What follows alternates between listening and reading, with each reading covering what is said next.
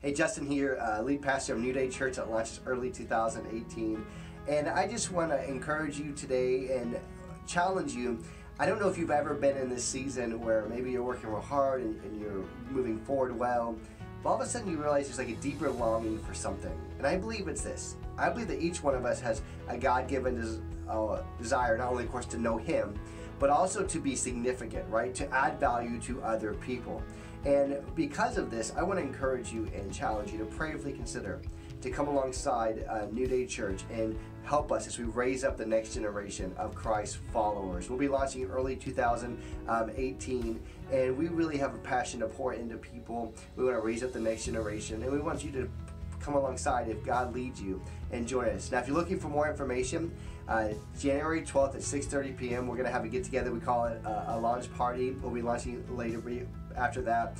We're gonna, uh, gonna cast some vision, share my heart, see if your heart gravitates towards that because I think uh, for many of you it absolutely will.